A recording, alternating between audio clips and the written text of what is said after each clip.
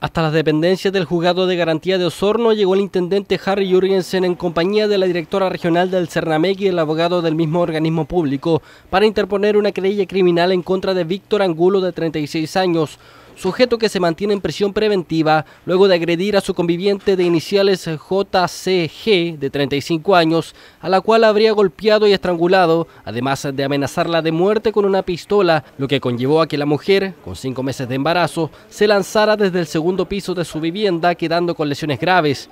El abogado encargado del Departamento de Femicidios del Cernamec en la región, Marcelo Urra, informó que la querella que se ingresó fue por femicidio tentado, lo que busca principalmente obtener una calificación mayor a lo que determinó la Fiscalía. Se ha ingresado querella criminal por el delito de femicidio tentado el día de hoy. Es una calificación que es mayor a la que otorgó Fiscalía, que fue por amenaza y lesiones graves. El delito de femicidio tentado tiene una pena de 5 años y un día a 10 años, y es lo que esperamos al término del proceso.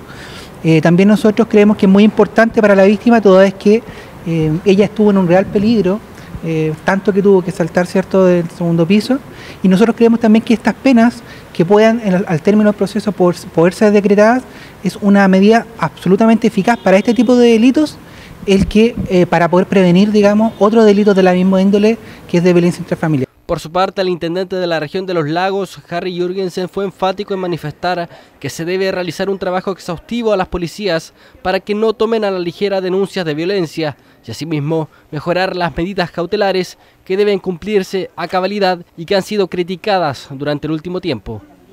Es una crítica que se hace permanentemente porque uno busca que las medidas cautelares sean más duras y que impidan efectivamente eh, que ocurran efectos negativos contra la víctima. O sea, en ese sentido, yo creo que tenemos que hacer revisiones correspondientes. Y justamente hoy día en la tarde nos juntamos con el eh, fiscal eh, nacional subrogante, que está en Ancud, para tratar este tema. La madre de la víctima, Olga Guzmán, estuvo presente en el juzgado y su mensaje fue claro. Es necesario denunciar cuando exista un hecho de violencia intrafamiliar exigiendo además que haya justicia para su hija. Que denuncien, porque ahora hay apoyo, ahora no estamos solas. Tienen que denunciar, o sea, ver por su integridad de ella, por ser mujer, no estamos solas.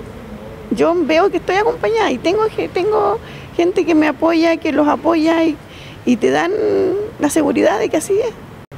Quiero justicia para mi hija y para mi nieta. Que es lo que se termine esto termine de, estos hombres que son golpeadores de mujeres. Quiero justicia nada más. De acogerse el trámite, solicitarán la ejecución de nueve diligencias, principalmente la toma de declaraciones a testigos y enfocadas a que se pueda acreditar que el imputado tenía la intención de dar muerte a la mujer y a su hija en gestación.